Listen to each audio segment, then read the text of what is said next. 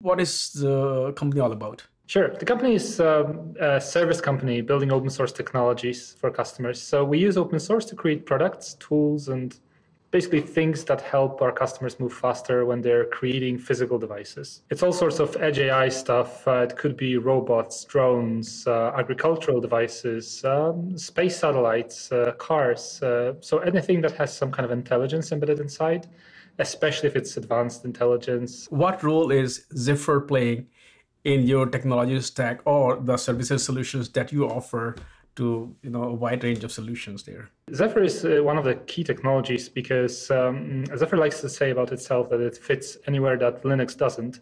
And since Linux is kind of also a key technology for us, it, we cover you know a lot of the higher end devices with with that operating system.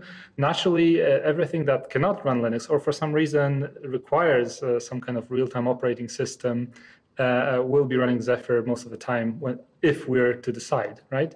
It doesn't mean we only work with Zephyr. We work with a lot of different kinds of operating systems, but certainly Zephyr is the go-to operating system for us. And the reason for that is its vendor neutrality.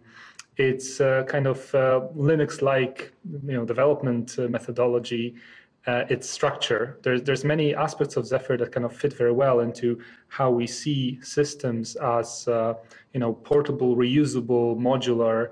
Uh, much like Renode, the open source simulation framework that we're developing, you know, uh, a lot of the mm, thoughts that go into structuring how Zephyr is uh, and how it's built uh, are shared between other technologies that we build and use so Zephyr is kind of a, a natural choice for wherever Linux isn't a good fit.